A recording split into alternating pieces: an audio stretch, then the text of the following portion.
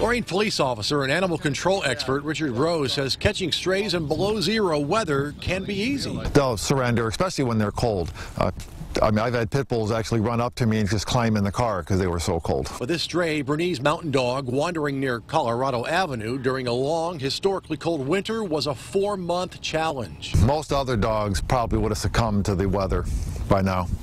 But this dog was a fighter and he was, she was able to survive. He tried catching her back in November and noticed her getting thinner as winter dragged on. She's probably about half the weight she should be.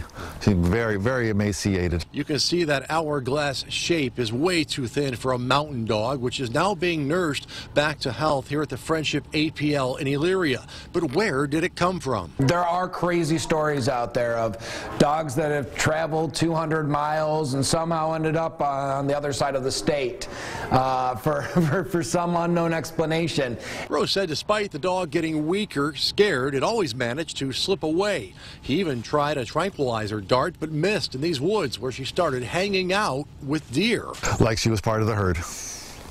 The deer were not were, had no fear of her, and she seemed comfortable with them. So, how about bacon? So I set a trap up nearby her lair, covered it with branches, and we baited it with some bacon.